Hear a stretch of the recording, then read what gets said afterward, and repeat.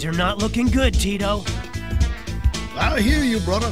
As the ancient Hawaiians say, no tourists means no paychecks for tourist resort Franco. No rentals either. Especially with the beach being...